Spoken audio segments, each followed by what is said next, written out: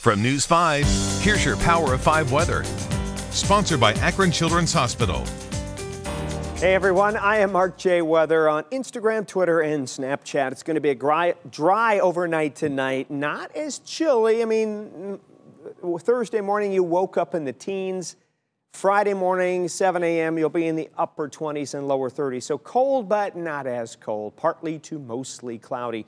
I think tomorrow we'll start off with some sunshine through the morning rush. You'll need those shades.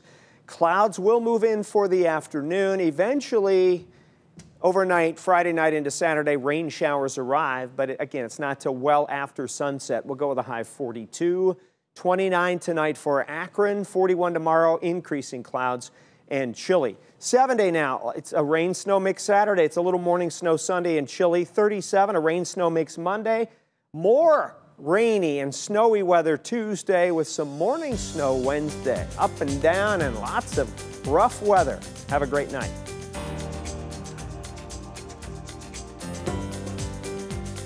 Sponsored by Akron Children's Hospital.